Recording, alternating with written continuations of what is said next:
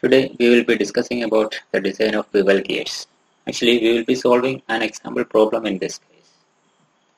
The question that we will be discussing in this session is a pair of 20 degree full depth involute teeth bevel gears connects two shafts at right angles having velocity ratio 3 is to 1. The gear is made of cast steel having allowable static stress as 70 megapascal and the pinion is of steel with the allowable static stress as 100 MPa. The pinion transmits 37.5 kW at 750 rpm. Design for strength and check for dynamic strength and wear resistance. Now for solving this particular question, we use the data book prepared by Mahadevan and Balaveera Reddy. The title of the data book is Design Data Handbook for Mechanical Engineers, published by CBS Publishers and Distributors Private Limited. The given data in this question is P power is equal to 37.5 kilowatts. N1 the speed of the pinion in RPM is 750 RPM. Capital N denotes speed in RPM and 1 denotes it is pinion. And I the velocity ratio is given as 3 that is N1 divided by N2 or D2 by D1 or Z2 by Z1 is equal to 3. D and Z are the pitch circle diameters and number of teeth respectively. The suffix 2 represents it is gear. So from this relation we can find out the speed of the gear as N2 as 750 divided by 3 that is equal to 250 rpm. The pressure angle given is 20 degree. The sigma D1 equal to 100 megapascal and the sigma D2 equal to 70 megapascal. In this case, we assume Z1 that is the number of teeth in pinion as 18 and it is the minimum number of teeth to avoid interference. So this value can be obtained from the table 12.4b in page number 230. Now we can obtain the number of teeth in gear Z2 as I into Z1 that is 3 into 18 as 54. Now the pitch angles for pinion it is tan delta 1 which is equal to 1 by I which is equal to 1 by 3. Therefore delta 1 equal to 18.43. For gear tan delta 2 that is equal to I, I is equal to 3. So delta 2 is equal to 71.57 degrees. The equations for the pitch angles is uh, provided in page number 217 as equation 12.32a and 12.32b. Now we find out the virtual number of teeth for pinion as well as gear. For pinion, Z1E equal to Z1 divided by cos delta 1. Z1 in this case is 18 and delta 1 is 18.43. So Z1E equal to 18.97. For gear, Z2E equal to Z2 divided by cos delta 2. Z2 is 54 and delta 2 is 71.57.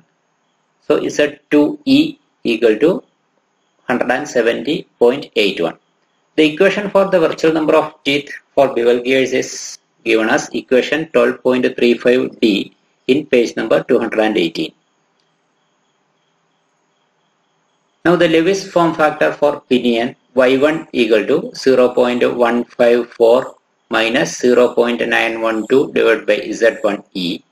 z1e in this case is 18.97 hence y1 is equal to 0.1057 and for gear y2 equal to 0.1487. The equation for Lewis form factor is given in equation 12.5d of page number 204. In the first step of the solution, we identify the weaker member. In order to identify the weaker member, we have to calculate the sigma d into y term for pinion and gear and the member with the lower value of sigma d into y will be weaker. For pinion, sigma d into y is given as sigma d1 y1 as 10.57 and for gear it is sigma d2 y2 which is given as 10.41. So the sigma d y term is lower for gear and hence it is the weaker and the further design calculations will be based on gear or it will be done for gear. The next step is to find out the module based on the beam strength. In order to find out the module based on beam strength, first we calculate the tangential tooth load and then we equate this tangential tooth load with the tangential tooth load obtained from the Lewis equation. First, we calculate the tangential tooth load Ft equal to 1000 PCS divided by V. It is equation 12.7a in page number 205. The P is the power transmitted that is 37.5 kilowatt. CS is the service factor. We assume it to be 1.5 assuming medium shocks and 10 hours per day working. It is taken from table 12.8 in page number 205. V is the pitch line velocity and V equal to pi into D2 N2 divided by 60 meters per second. And D2 is equal to M into Z2. But currently we doesn't know what is the value of module M and we leave M as it is and thus we obtain the pitch line velocity V as pi into M into Z2 into N2 divided by 60. We substitute the value of Z2 and N2 and thus we obtain V as 706.5 into 10 raised to minus 3 m meters per second and m is in millimeter. By substituting the values in the equation for Ft, we get Ft as 79,617.8 divided by m. Now we find out the tangential tooth load based on the Lewis equation. For bevel gears, the Lewis equation is given as Ft is equal to sigma d Cv bym into L minus B divided by L. It is the equation 12.37 in page number 218. Now sigma d is the allowable static stress that is sigma d2 so it is 70 megapascal or 70 newton per millimeter squared. B is the face width that is 10 m. We assume it to be 10 m 10 times module. It is taken from the equation 12.36a in page number 218. Now L is the cone distance that is assumed as 30 times m. It is again taken from equation 12.36b in page number 218. Now capital Y is equal to pi into y2. y2 is 0.1487. So capital Y equal to 0.4669. Now substituting the values in the equation for Ft, we get Ft in terms of Cv and M. So it is 217.89 Cv M squared. So now we equate both the tangential tooth loads. So Ft is equal to 79,617.8 divided by M which is equal to 217.89 CVM squared. And from this relation we get CV into M cube as 365.4. Now we take this value 365.4 as RHS and CV into M cube as LHS. And for the module to be selected, the value CV into M cube should be greater than 365.4 that is the RHS. Now, to find out the module M, we follow a trial and error procedure and in the trial and error procedure for the first trial, we obtain m approximately as cube root of 2 times RHS. In this case, RHS is 365.4 and thus M is obtained as 9.01 and we standardize this value 9.01 to a higher value that is 10 millimeter and this particular standardized module 10 mm can be obtained from the table 12.24 in page number 242. Now we assume the teeth to be generated one. So CV, the equation for CV in that case is 6.1 divided by 6.1 plus B. And this equation is obtained from equation 12.38B in page number 290.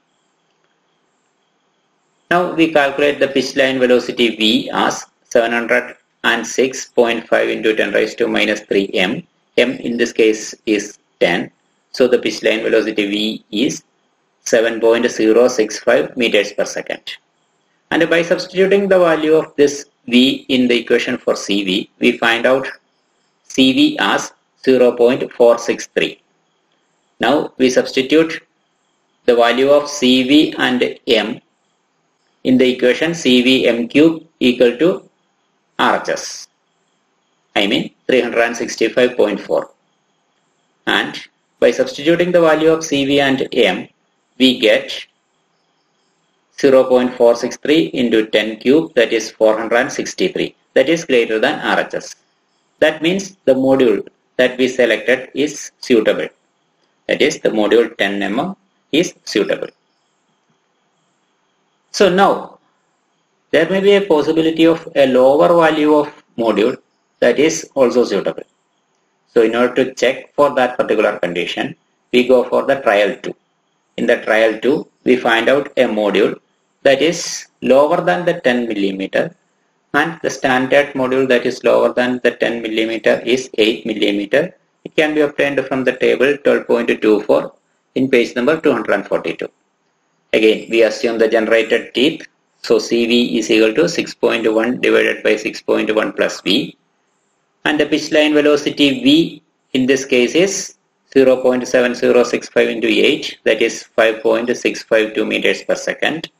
By substituting this value of pitch line velocity in the equation for CV, we get CV as 0.5191 and then substituting the value of CV and M in CV M cube, we get CV into M cube as 265.8 and this value is less than the RHS.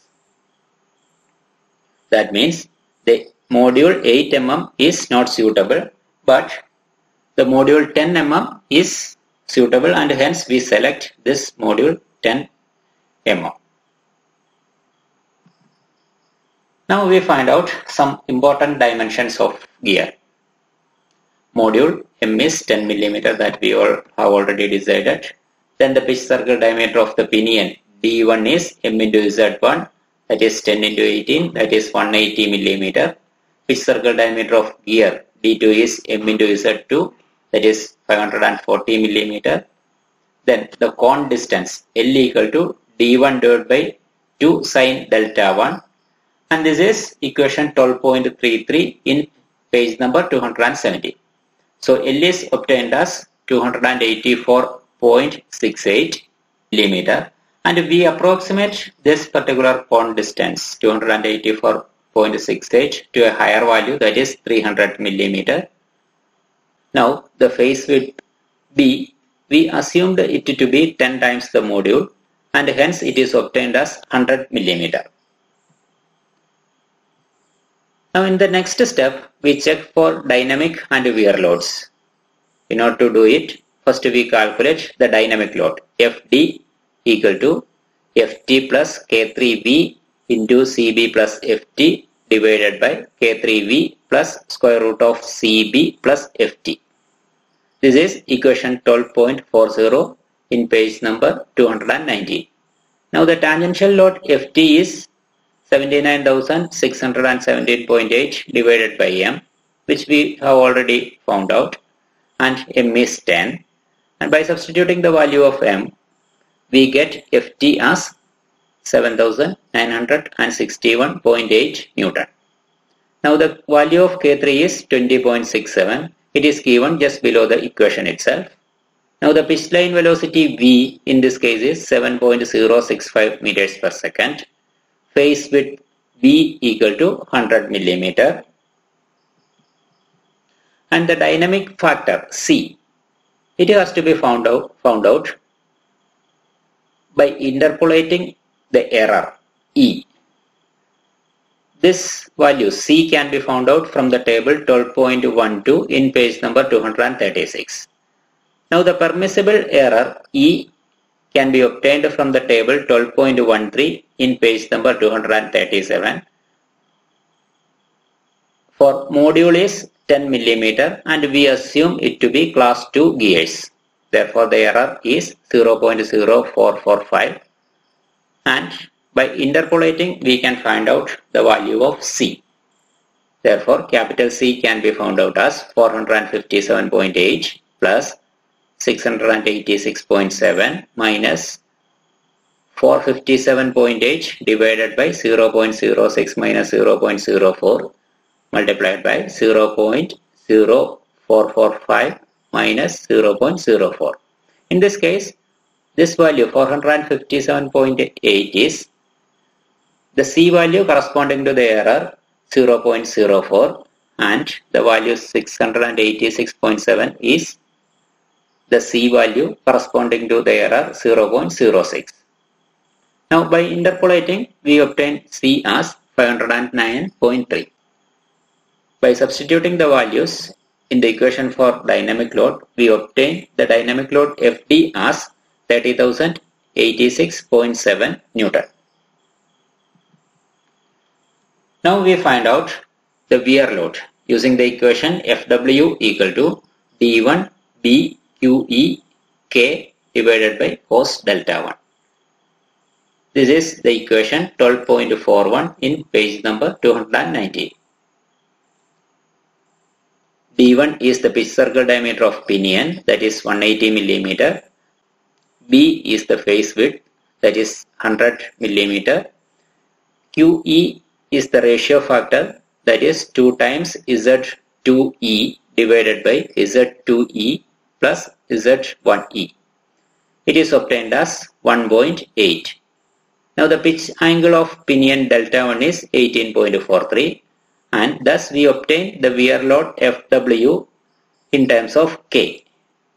So the wear load FW is 34,151.6 K. Now for the design to be safe the wear load should be greater than the dynamic load. That is, FW should be greater than FD.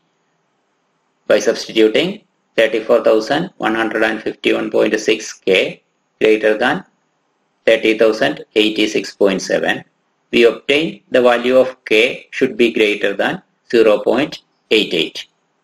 And for K to be greater than 0.88 and alpha equal to 20 degree, from the table 12.16 in the page number 239, we can find out the recommended hardness for pinion as well as gear.